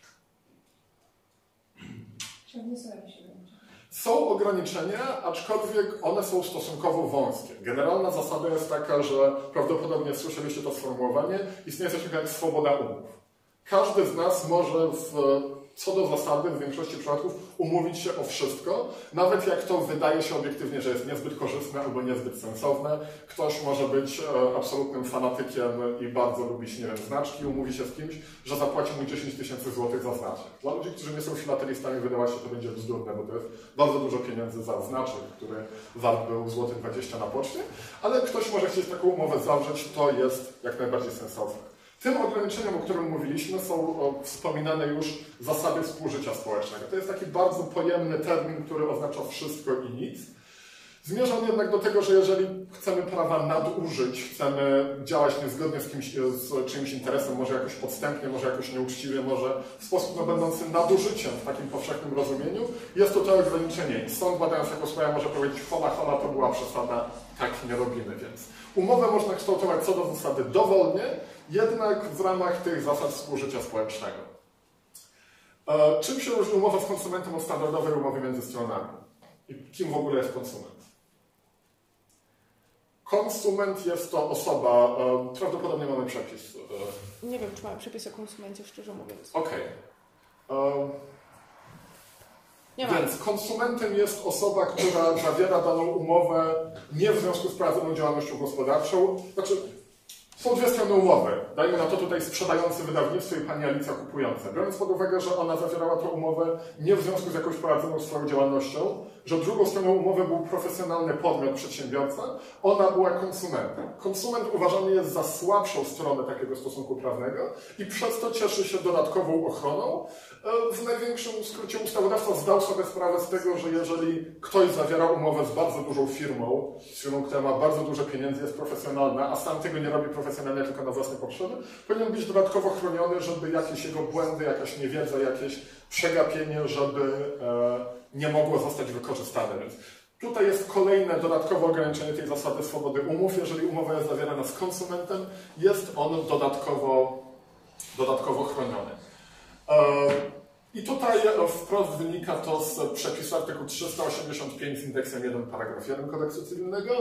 E, Postanowienia umowy zawierane z konsumentem nieuzgodnione indywidualnie nie wiążą go, jeżeli kształtują jego prawa i obowiązki w sposób sprzeczny z dobrymi obyczajami, rażąco naruszając jego interesy. Nie dotyczy to postanowienia określających główne świadczenia zem. Czy mieliśmy do czynienia z takimi postanowieniami tej umowy, którą zawarła Pani Alicja, którą moglibyśmy stwierdzić, że są rażąco sprzeczne z dobrymi obyczajami, że rażąco naruszają jej interesy? Jak sądzicie? Tak. Tak, zgadzam się. Uważam, że jak najbardziej były takie postanowienia. Ta umowa wydaje nam się nie była uczciwa. Za prenumeratę kwartalnika o zdrowiu miała zapłacić 3000 zł. Wydaje się, że to dużo, zdecydowanie zbyt dużo niż nawet najlepszy kwartalnik, jak można sądzić, byłby e, warty. Po pierwsze. Po drugie, został. Mhm. Y, Też możemy wziąć pod uwagę okoliczności, w których to było, ta, ta sprzedaż się dokonała, tak? Nie dość, że Pan przyszedł do jej domu, więc to zmienia niejako stosunek e, do osoby, która przychodzi do naszego domu i nawiązuje jakąś taką relację, która wygląda trochę inaczej niż sprzedawcą w sklepie.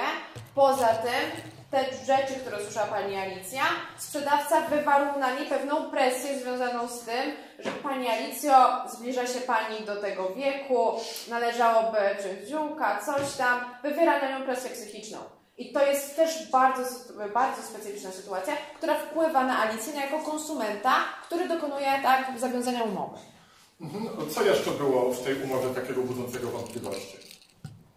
Te odsetki, 30% za każdy dzień opóźnienia, e, no to jest jak najbardziej niedopuszczalne. To też na marginesie zaznaczę, w kodeksie jest wprost określone, jakie odsetki maksymalnie możemy zastrzec w umowie. E, One wynoszą w tym momencie, jeśli dobrze pamiętam, kilkanaście procent w skali roku, więc no to jest zdecydowanie mniej niż 30% dziennie. E, I e, zastrzeżenie w umowie wyższych odsetek nie jest wiążące. Jeżeli napiszemy w umowie, że odsetki mają być jakieś przekraczające te odsetki maksymalne, przyjmuje się, że do zapłaty są tylko te odsetki maksymalne. W praktyce niestety te zakazy są często omijane przez różne firmy zajmujące się udzielaniem pożyczek. E, Generalnie e, nie doradzałbym, ale są brania takich pożyczek w ogóle, ale gdyby do tego doszło, to jak się bierze w jakichś firmach udzielających kredytów chwilówek, to tam oprócz tego, że są odsetki, które są wysokie, dodawane jest bardzo dużo dodatkowych opłat, w stylu opłata za to, że w ogóle ktoś wyraził zgodę na to, żeby te pieniądze nam pożyczyć, albo opłata za jakąś obsługę, że ktoś będzie do nas przychodził i od nas e, te raty tej pożyczki zabierał, coś takiego. I wtedy podawane jest coś, co się nazywa realną roczną, co się nazywa realną roczną stopą oprocentowania, czyli to, ile tak naprawdę w rzeczywistości zapłacimy. To. Do pewnego stopnia jest schizofrenia, że prawodawca uważa, że są maksymalne odsetki, jakie są, ale ma świadomość tego, że to jest obchodzone, więc zobowiązuje chociaż do podawania, jaka jest ta realna stopa oprocentowania, no ale to w rzeczywistości się dzieje, jak się czasem posłucha reklam, to okazuje się, że kredyt może być oprocentowany na zasadzie realna roczna stopa oprocentowania przekraczająca 100% na przykład, czyli że po roku musimy oddać dwa razy więcej niż wzięliśmy. E, tutaj mówimy jeszcze o czymś, co, co nazywa się wyzyskiem, czyli jeżeli jedna strona wyzyskując przymusowe położenie niedołęstwo, niedoświadczenie drugiej, zamiast za swoje świadczenia przyjmuje albo zastrzega dla siebie lub dla osoby trzeciej świadczenie, którego wartość w chwili zawarcia umowy przewyższa w rażącym stopniu wartość jej własnego świadczenia, druga strona może żądać zmniejszenia swojego świadczenia. Czyli znowu, jeżeli e, za encyklopedię, która warta jest 100 zł, ktoś skręca nas, wywiera na nas presję i żąda od nas zapłaty 3000 zł, my możemy żądać dostosowania tej kwoty, którą musimy zapłacić do realnej wartości świadczenia strony przeciwnej. Znowu, ochrona słabszej strony, strony działającej pod presją, strony, której niedołęstwo, niewiedza, przymusowe położenie miało zostać wykorzystane. Dużo jest tak naprawdę takich zastrzeżeń w kodeksie, w których ustawodawca chce chronić jedną ze stron, żeby ułatwić jej życie jak się, się uzna, że ta strona jest Tutaj są odsetki. Odsetki, o tym Tak. powiedziałem. Um, To też również odsetki. tak, A... I dalej już jest odpowiedzialność. dalej jest odpowiedzialność. tak. Dobra. E, odpowiedzialność to jest ostatnia kategoria, którą dzisiaj poruszymy. E, odpowiedzialność za czyn niedozwolony. I znowu nie mylimy z prawem karnym. Czyn niedozwolony trochę się nam z, z prawem karnym kojarzy, ale e, tutaj chodzi o trochę inną kategorię czynów. E, one często mogą się trochę pokrywać z przestępstwem czy wykroczeniem, natomiast tutaj znowu pozostajemy w e, kategoriach prawa cywilnego. Zaczynamy od. E, Pan Zdzisław od 24 lat prowadzi firmę remontową, w której zatrudnia kilku pracowników. Przyucza też czasem tam jego syn wpada i on tam przyucza go do zawodu, żeby chłopak mniej więcej miał jakiś fach w rękach. Pani Ewa oddaje klucze do swojego mieszkania w zabytkowej kamienicy panu Zdzisławowi i oczekuje, że za dwa miesiące dostanie mm, mieszkanie zrobione e, i gotowe do wprowadzenia się. Natomiast zaczęły się kłopoty. Kłopoty z firmami remontowymi w Polsce to oddzielna kategoria w ogóle prawa. W każdym razie, w pierwszej kolejności pracownik pana Zdzisława, którego pan Zdzisław zatrudnił, będąc w branży remontowej 24 lata, podkreślę. E, specjalista od tapetowania użył własnej kleistej mieszanki zamiast zakupionego przez panią Ewę kleju fabrycznego, e, przez co skrzanił całą robotę, tapeta odeszła od ściany, tapeta została zniszczona, oni zostali bez tapety i bez pokoju, który został wytapetowany. E, następnie Adam, syn pana Zdzisława, biegał sobie po tym mieszkaniu e, i wpadł do pokoju podczas cyklinowania nowego parkietu e, i wylał całą puszkę czerwonej farby. E, Pan Zdzisław złapał się za głowę, już wiedział, że nie jest dobrze, próbował uratować tą podłogę, szorował, szorował i usłyszał huk. Z, jedna z granitowych e, donic pani Ewy spadła z balkonu na samochód sąsiada. Generalnie dzień nie zapowiadał się dobrze. E, no i co tutaj tak się tak naprawdę wydarzyło? Kto jest, tak zupełnie abstrahując od tej historii, kto jest zobowiązany do naprawienia szkody? Tak na co dzień, tak na chłopski rozum. Kto naprawia szkodę? Ten, kto ją wyrządził. Świetnie. Trudne pytanie, ale jednak znaleźliśmy odpowiedź. Jak najbardziej. Za szkodę jest odpowiedzialna osoba, którą tą szkodę wyrządziła. Nie zawsze oznacza to, że będzie to jedna konkretna osoba, która się przyczyniła do powstania tej szkody. Ale tutaj już wchodzimy w ten kasus, tak? Na jakiej zasadzie wskazuje się osobę winną tej szkody? Nie zawsze to będzie osoba, która ręką wzięła młotek i rozwaliła na przykład kafelek. W tej sytuacji Zdzisław e, miał pracowników i miał syna i jeszcze była gdzieś doniczka. Więc tutaj mamy różne sytuacje i odpowiedzialność tych osób będzie regulowana właśnie na podstawach e, przepisów prawa cywilnego. Więc generalna zasada artykułu 415, kto z winy swej wyrządził drugiemu szkodę, zobowiązany jest do jej naprawienia. I, natomiast to jest taki bardzo wielkie, wielki kubeł, w którym mieszczą się bardzo różne sytuacje. Kto powierza wykonywanie czynności drugiemu, ten jest odpowiedzialny za szkodę wyrządzoną przez sprawcę przy wykonywaniu powierzonej mu czynności. Pan Zdzisław prowadzi tę firmę 24 lata.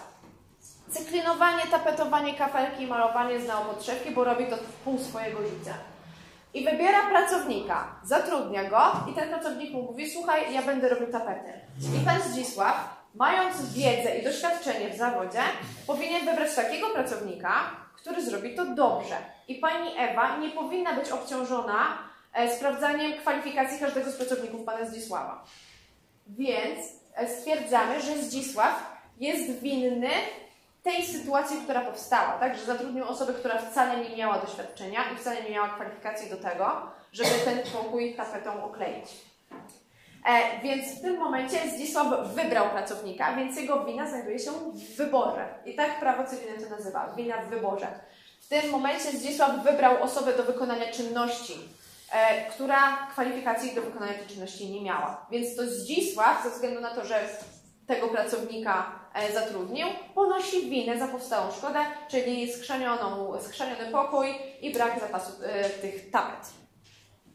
E, co się dzieje dalej? Adam. Adam jest dzieckiem pana Zdzisława. Jak myślicie?